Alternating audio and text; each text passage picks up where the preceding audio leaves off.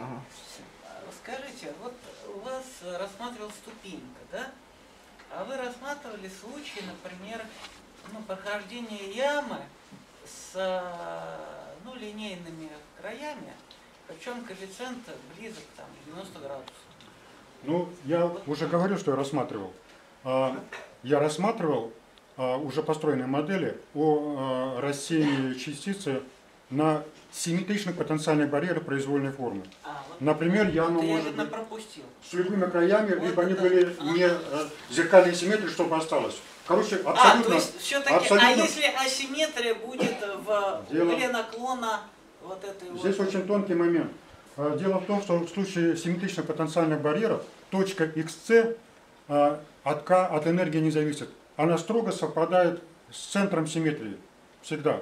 Для любых волн, для, для волн любой энергии.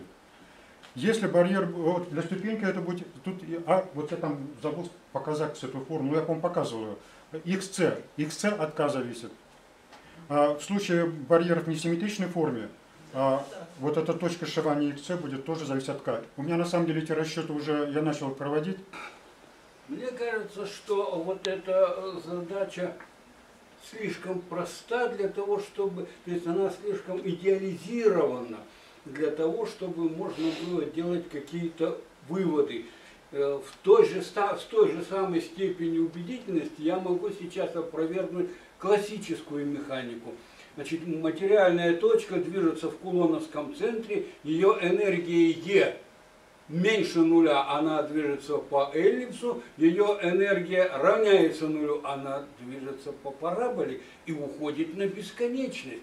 Бесконечно малое изменение энергии катастрофически все меняет. И я не понимаю, почему это так происходит.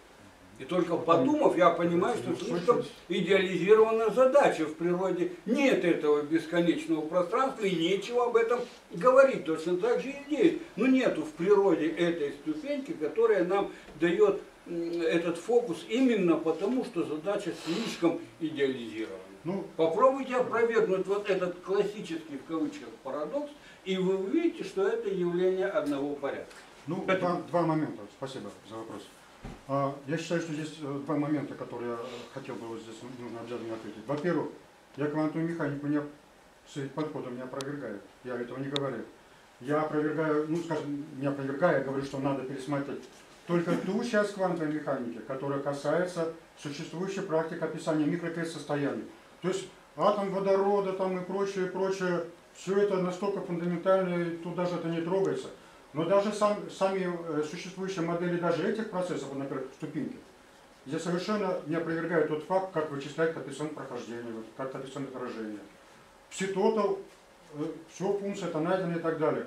Я только говорю, что, что нужно а квадрат модуля пси-тотал э, не является квадратом, э, вернее, не, это квадрат модуля функции пси-тотал не является, нельзя корректно, правильно интерпретировать как плотность вероятности. Надо обязательно расщепить этот пси-тотал, разложить на две эти составляющие, и только на основе этих двух волновых функций описывать, э, э, вот можно интерпретировать корректно экспериментальные данные, касающиеся этого процесса. Это первое.